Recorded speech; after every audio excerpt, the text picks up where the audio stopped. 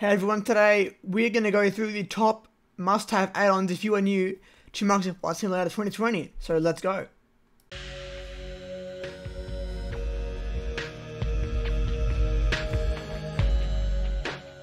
Alright everyone, so the first freeware add-on I'm going to talk about today is the Fly-by-Wire A320 Neo uh, project. So you can see I have an opening, links are all in the description. Uh, basically, uh, has some nice features uh, to the default A320 Neo in Microsoft Flight Simulator. It's very simple to install, and I'll definitely say it is a must-have. A patch was, uh, was recently released. If you had the Japan update, it now functions, as I had a, black PFD with it, but now it's all good. So we're going to go through how to install this. All you got to do is go to this code bottom, or you can download the folder, but just go uh, code and download zip. Press that, or download. And once that's all downloaded, I'll show you how to install it into your folder.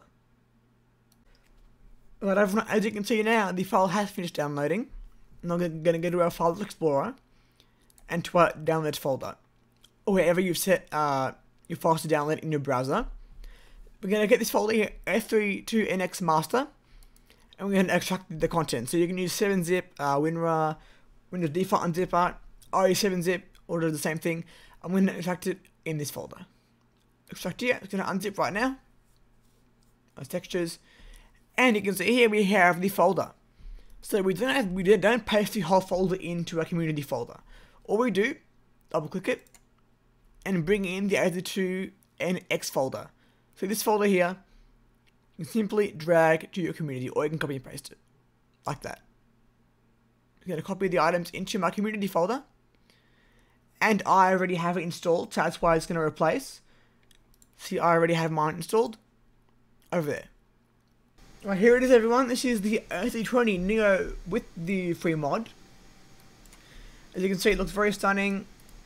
Some changes, I think the uh, fuel consumption is uh, edited. You have the AP page appears on over here when you get the APU up. So yes, nice changes, and I um hope that you enjoy the addition of this mod. Definitely helps to enhance your flying experience very overlooking plane. Now we're gonna look at the 787 free mod. So onto that.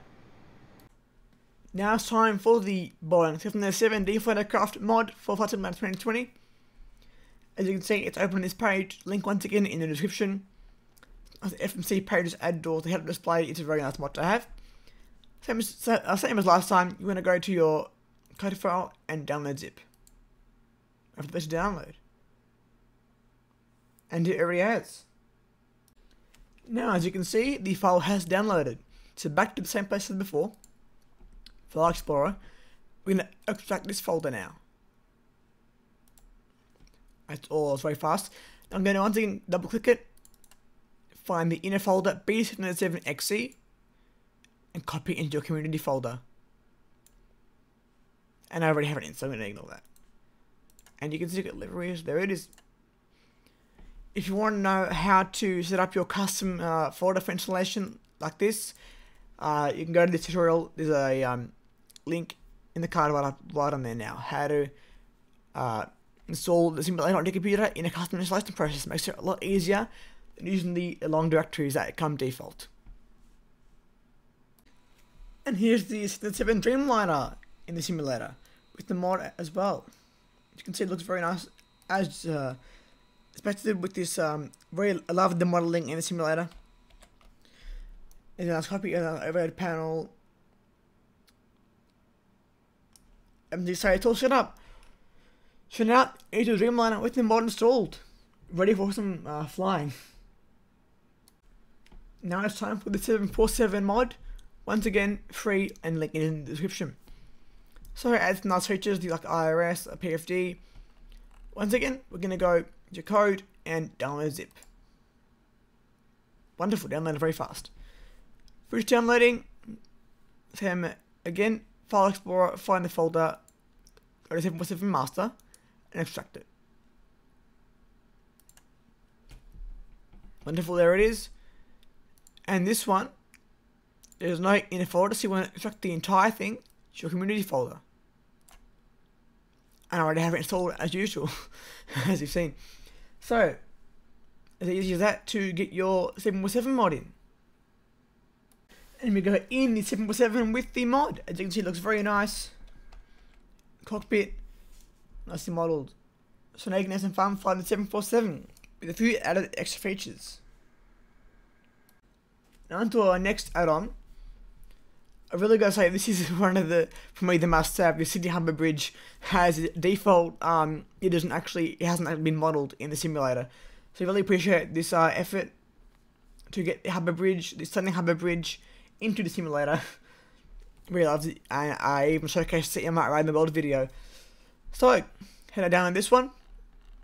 You can see as that's default and you're gonna go to your download via Mega like this.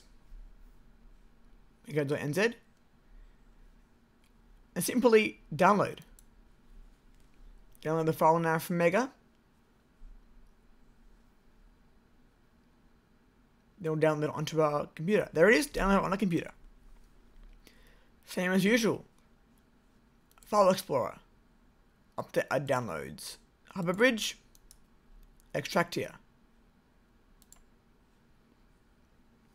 There it is. And this directly goes to your community folder. As it already in. As there's no in the folder to uh, copy over. Okay, now you can enjoy the Harbour Bridge in your simulator. and here's what the Sydney Harbour looks like with the Sydney Harbour Bridge mod. I gotta say, it doesn't load in until you're quite close to it, but when it does, it doesn't look absolutely amazing instead of having some road there. But the cars do seem to drive on the water, so that's part of the you know the issue there. But anyway, it looks amazing, and I highly recommend it. But this is the last add-on for the video. So you did just the uh, liveries mega pack Great to have it all as a, a ton of liveries to a wide variety of aircraft. Very easy to download. Download the Mega Pack 8. Some nice images of it there. Put up there. Simply just start downloading from Mediafire. And all you do, it will open with the aircraft you want. And simply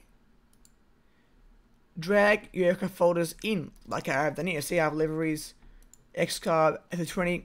So you, you'll get um, Abstract, it'll be like this, and drag these folders into your livery folder. If you do want a detailed tutorial of livery downloads, uh, please let me know in the comments below and I'll happily make one. But it's pretty straightforward, I think.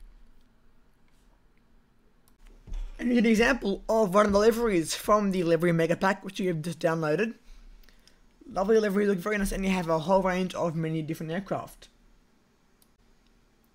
Now to get your 7 livery, which I don't believe I included at the time of recording in this pack, I've put a link in the description for those liveries too, the 7 liveries. And that will bring this video to an end. Hope you all enjoyed it and you uh, found it useful and some great add-ons for the simulator. Hope you had a great time in it. And I hope to see you soon uh, for another video. See you next time.